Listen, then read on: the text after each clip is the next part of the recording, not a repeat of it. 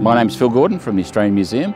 I'm manager of Indigenous projects there. The Aboriginal Advisory Committee on Repatriation, which I'm co-chair of, uh, plays an important role in the, the overseeing and of the national repatriation policy, which is a policy that aims at returning ancestors and secret sacred objects to communities, but also the international component of that, the bringing back of ancestors from overseas museums. I'm Chrissy Grant and uh, I have my own consultancy and it's across um, Indigenous land, um, heritage and environment issues. Um, taking into account, you know, those all those associated areas that uh, are connected and interrelated. It's really useful for for us to understand exactly what the department is uh, doing and conducting under the Indigenous Repatriation Program.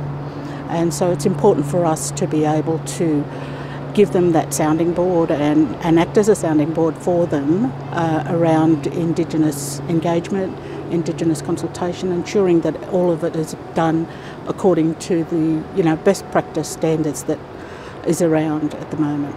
Yeah, I think to bring the, the remains back and have an Indigenous repatriation program is just fulfilling the community and making them whole again. You know, part of What's missing from their community are their ancestors in some cases that have been taken overseas um, or held in museums here in Australia.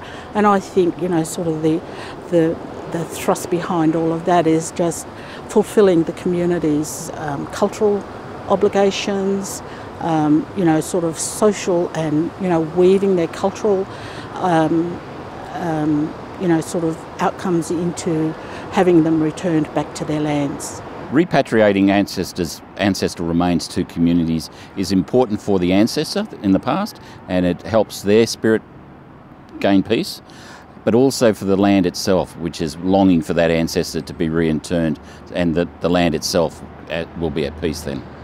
And the, the repatriation of objects, sacred objects, is a way of um, maintaining cultural connection to the objects and maintaining culture. For the communities, the return of ancestral remains is a is an alien concept because once ancestors were interned in the land or uh, they weren't they weren't taken away. So the communities themselves have to come through, uh, think through the repercussions of that. Um, what what uh, ceremony may need to be undertaken? Where do you re rebury the ancestor?